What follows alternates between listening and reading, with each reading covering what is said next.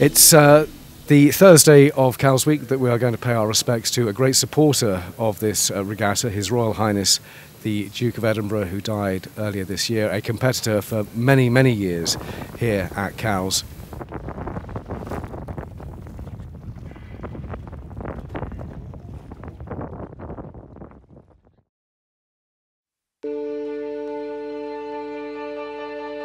Day six of uh, Cowes Week 2021 and we have a breeze which is uh, a nice change.